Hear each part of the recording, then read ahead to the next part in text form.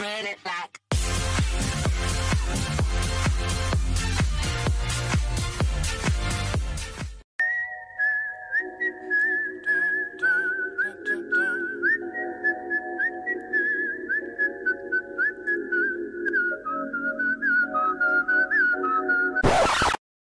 Rob Stone, two damn phones, Babylons can't crack the.